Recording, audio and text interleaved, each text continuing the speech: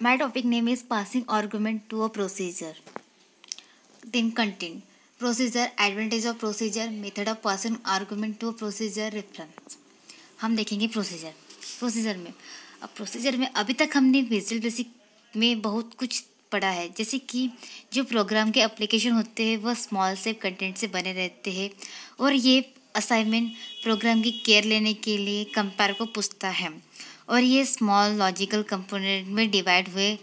Divide होते हैं divide हुए रहते हैं। देन बेनिफिट्स यानी कि advantage of it is easier method to debug a program जो प्रोग्राम को डिस्क्रीट लॉजिकल लिमिट को ब्रेक करता है first then second procedure use in one program can act as a building block for other program with slight modification ये अपने procedure जो use करता है वो प्रोग्राम को बिल्डिंग ब्लॉक पर और उसमें स्लाइट मॉडिफिकेशन होते रहते हैं। Third a procedure can be sub function और प्रॉपर्टी प्रोसीजर इसमें कुछ सब फ़ंक्शंस रहते हैं और प्रॉपर्टीज़ रहती है प्रोसीजर की। Then method of passing argument to procedure उसमें दो मेथड्स रहते हैं, जो आर्ग्यूमेंट कॉल दो मेथड्स रहते हैं, एक कॉल बाय वैल्यू और एक कॉल बाय रेफरेंस हम कॉल बाय वैल्यू देखेंगे। कॉल बाय वैल्यू में। जब हम जब हम किसी फ़ंक्शन को कॉल करते हैं और यह, और वह कॉल के फ़ंक्शन से आर्गुमेंट एक्सेप्ट करता है तो हमें फ़ंक्शन के लिए कुछ आर्गुमेंट्स देने होते, जो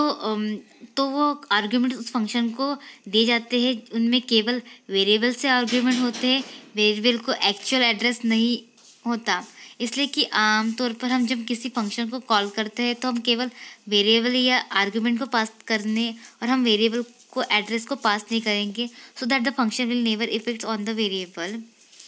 then उसका एक एग्जांपल है private sub form space lot open interval dim test as integer हम टेस्ट हम टेस्ट इक्वल्स टू वन लेते हैं और test function test message box में हम टेस्ट लेंगे and sum private sub test function हम ये बाय वैल्यू से कर रहे हैं इसलिए, हम एक कॉल बाय वैल्यू से कर रहे हैं इसलिए हम by value is I integer ले रहे हैं. बिकॉज़ तो I plus two I plus one okay then हम देखेंगे कि call by reference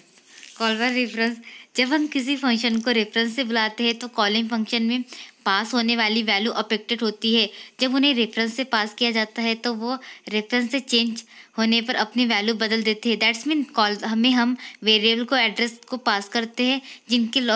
आर्गूमेंट भी भेजे जाते हैं। वेनी पा जब सॉरी जब हम वेरिएबल के एड्रेस को आर्गूमेंट से पास करते हैं तो एक फ़ंक्शन वेरिएबल इफ़ेक्ट करता है इफ़ेक्ट करता है। दैट्स मीन जब कोई फ़ंक्शन वैल्यू को बदलेगा तब वेरिएबल को वैल्यू अपने आप बदल जाएँगी। मतलब कि हम जब आ, मतलब कि हम जब कॉल बाय वैल्यू से आ, आ, पास करेंगे तो हम एक वैल्यू पास करेंगे और हम कॉल बाय रेफरेंस से करेंगे तो एक एड्रेस एक पासिंग एड्रेस से हम पास करेंगे एक वेरिएबल को। उसका एक एग्जांपल सेम एग्जांपल रहता है वैल्यू कॉल बाय वैल्यू का और कॉल बाय रेफरेंस का। सिर्फ़ उसमें जब हम कॉल बाय वैल्यू में करेंगे तो उसको वहाँ पे बाय वैल्यू रहेगा और हम इसमें करेंगे तो बाय रेफरेंस में रहेगा। बट हम private sub form space lot open interval dim test as integer test equals to one लेंगे और एक उसका एक फ़ंक्शन क्रिएट करेंगे करेंगे मैसेज बॉक्स में। बस। And then reference thank you